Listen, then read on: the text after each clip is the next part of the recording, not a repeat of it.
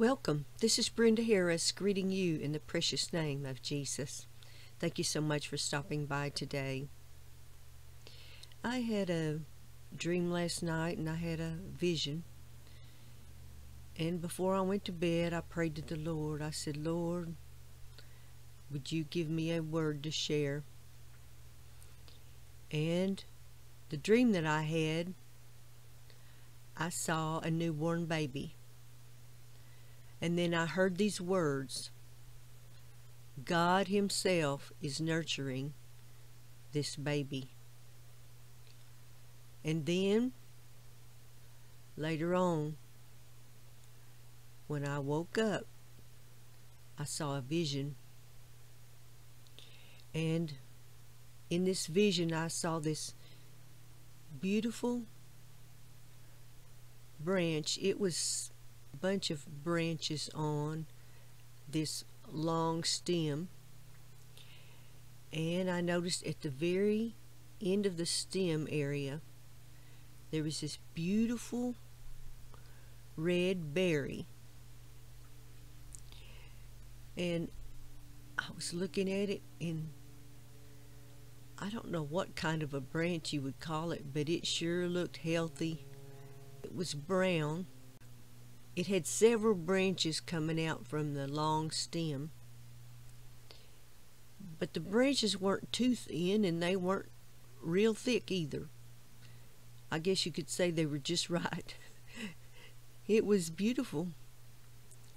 But I was looking at that one little red berry.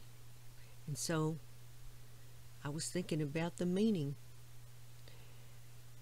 And I think God is saying new beginnings. I really believe that's what he's saying because the baby was newborn and I heard that voice say God himself is nurturing this baby. And then the branch had that one red berry on it. So I think God is saying He's going to give you a new beginning. There are many people that want a new beginning, maybe in certain areas.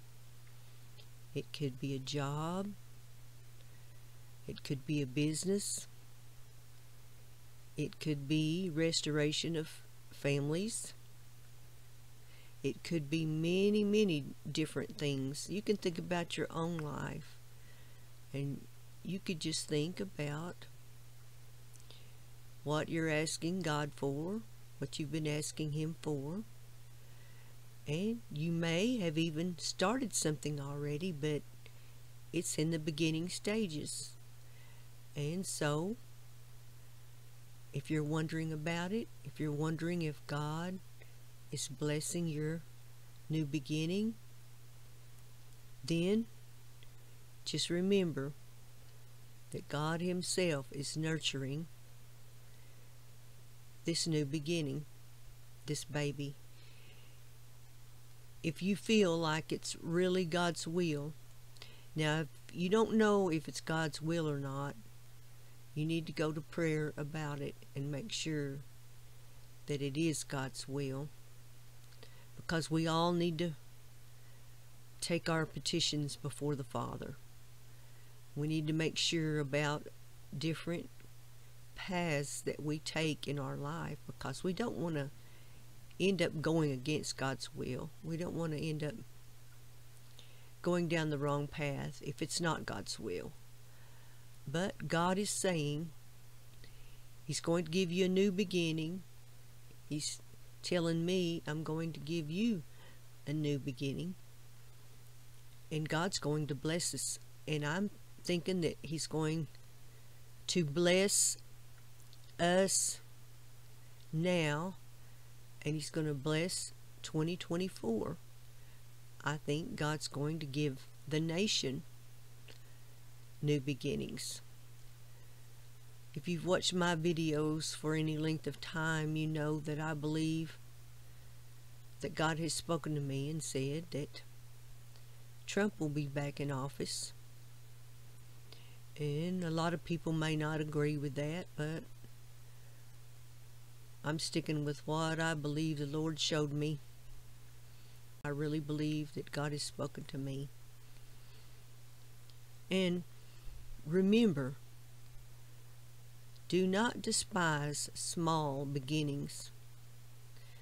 A lot of times, we just want something and we want it now.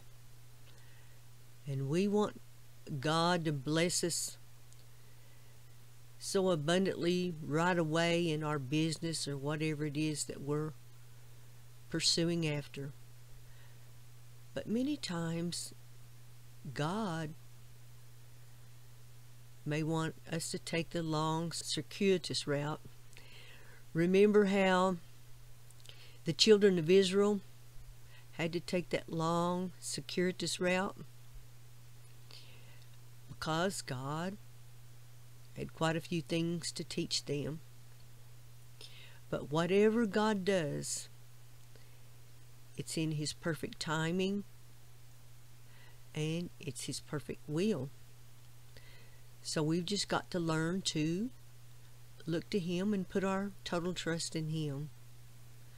Because if we follow His way, then we are definitely taking the right path.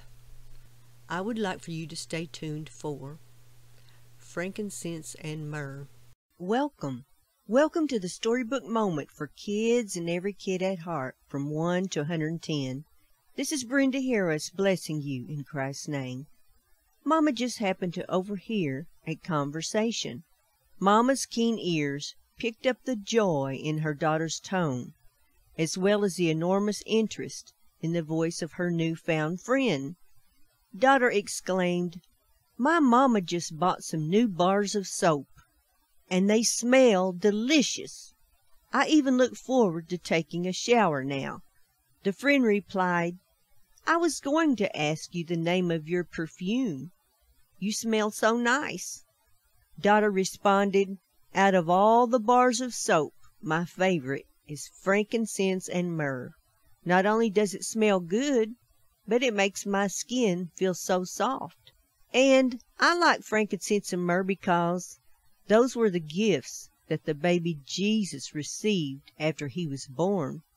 The friend asked, who is baby Jesus? Daughter's eyes grew large with surprise before asking, You don't know who Jesus is? The little friend said, Why, no, I have never heard of Jesus. Mamma was shocked. A forlorn thought entered her mind. We live in America, the richest country in the world, and there is a child in it that has never heard of Jesus? Mamma was so proud of her daughter because her daughter began telling the little friend all about Jesus. After this, Mamma had a conversation with her husband, who in turn had a conversation with their pastor. Soon the whole church rallied and a newborn ministry began called the Baby Jesus. Donations were received periodically and a church bus was bought specifically for this ministry. The mother's daughter asked her new found friend to go to this ministry. They would meet on Sunday mornings for Sunday school, as well as special Saturday meetings. Talented people in that church knew exactly how to make the Bible come to life for young children. The daughter's friend asked all of her friends, and their friends asked all of their friends. The ministry exploded. Not only did the young kids attend the Baby Jesus ministry, but on Saturdays the adults attended as well, on the pretext of bringing their little ones there. Years later, Mama was thinking about it all. She was thanking Jesus for all the lives that the ministry had changed, because it had not only reached young children, but it had reached parents and grown siblings of the young ones as well. I believe that's what the baby Jesus had in mind all along, don't you? Precious little ones, there is a world of missionary fields. Missionaries are sent out from America all over the world. But America needs missionaries right here in our own backyard. And now this concludes the Storybook Moment. May Jesus lift you up in his arms and give you the biggest hug and kiss that you ever did receive.